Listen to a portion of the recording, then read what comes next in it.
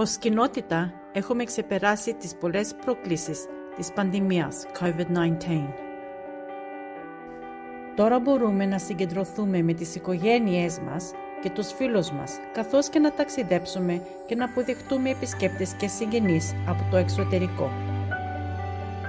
Ας δούμε τι μπορούμε να κάνουμε για να συνεχίσουμε να προστατεύουμε τους εαυτούς μας και τα αγαπημένα μας πρόσωπα.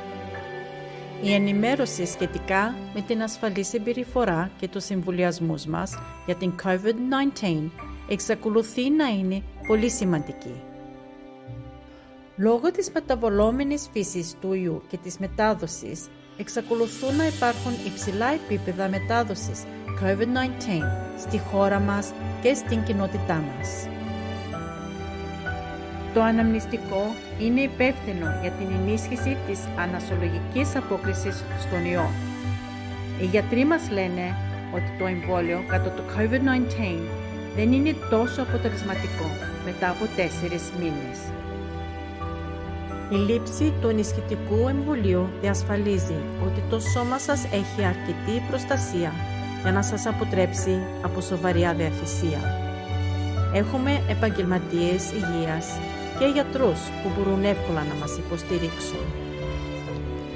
Είναι σημαντικό να παραμένουμε ενημερωμένοι, να βελτιώνουμε την κατανόησή μας κάνοντας ερωτήσεις, να συνεχίσουμε συμπεριφορές ασφαλείς για την COVID-19 και να προστατεύουμε και να φροντίζουμε τους εαυτούς μας και την κοινότητά μας. Για πληροφορίες επικοινωνήστε με τον τοπικό σας γιατρό.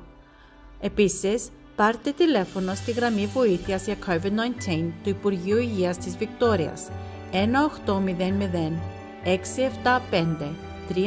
398 ανοιχτή 24 ώρες 7 μέρες. Εάν χρειάζεστε διαρμηνέα, καλέστε την κατάσταση COVID-19 1800 675 398 και πατήστε 0.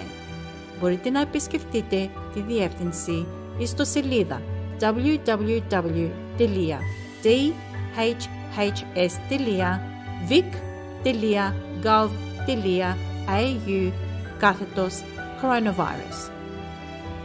Αναγνώριση από την Οργάνωση Γυναικεία Υγεία στα Νότια-Ανατολικά. Αναγνωρίζουμε και ευχαριστούμε όλες τις γυναίκες που συνέβαλαν και στήριξαν τη συνδημιουργία αυτού του ψηφιακού μηνύματος για την ελληνοαυστραλιανή κοινότητα. Σας ευχαριστούμε.